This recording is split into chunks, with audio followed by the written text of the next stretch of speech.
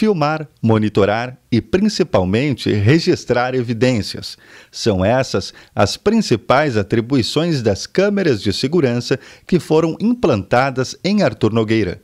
Ao todo, são 15 câmeras que estão espalhadas em diversos pontos do município e devem monitorar as ruas 24 horas por dia.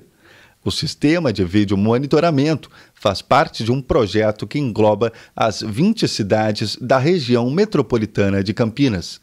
É um projeto que a gente participou em várias cidades. É, nós conseguimos fazer um, um, processo bem bacana em Nova Odessa, em Jaguariúna, em Santa Bárbara do Oeste. Concluímos aqui Arthur Nogueira.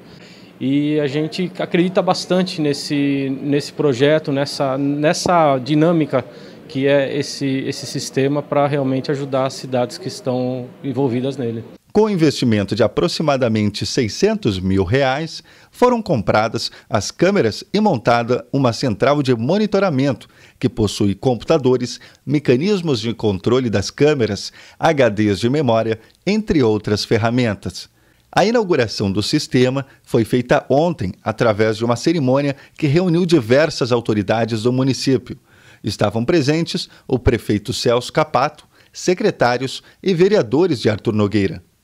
Em entrevista, o prefeito falou da importância para o município desta ferramenta. Esse sistema de vídeo monitoramento que começa hoje vai ser uma ferramenta muito importante para a Guarda Municipal, para a Polícia Militar, no sentido de chegar mais rápido ao delito e até de evitar, né? para que a gente consiga um dia estender esse trabalho, esse vídeo monitoramento para toda a cidade. E quando eu falo toda a cidade, é a zona urbana e a zona rural. Distribuídas em pontos estratégicos da cidade, as câmeras de monitoramento contam com tecnologia de ponta.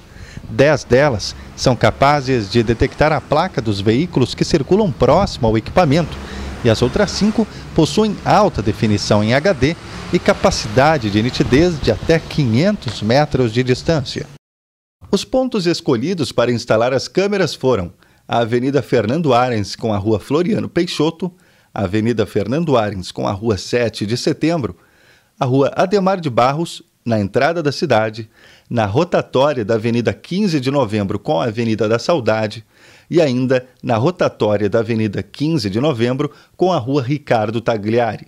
Já as câmeras com reconhecimento de placa veicular estão localizadas no trevo de acesso ao Itamaraty pela Avenida Fernando Arens, na Rua Duque de Caxias, na Rua Rui Barbosa e ainda na entrada via Mojimirim.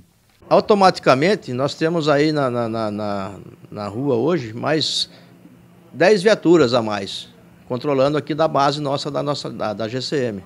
Então, são 10 olhos a mais, 10, 10 guardas a mais na rua, é, ajudando na segurança do município.